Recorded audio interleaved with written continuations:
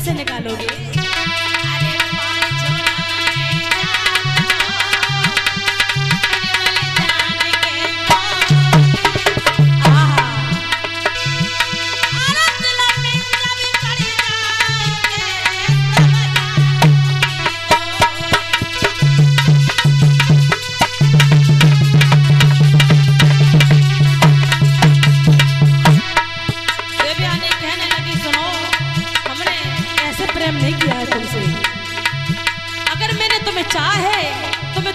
ज़िंदगी भर चाहूँगी विवाह करिए या आप या ना करिए। सुनो महाराज।